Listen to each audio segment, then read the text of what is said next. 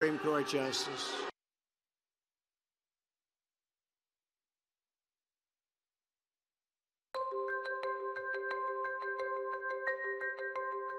We are unable to move the boat to anywhere else in Hong Kong where we can stay on board with our small children.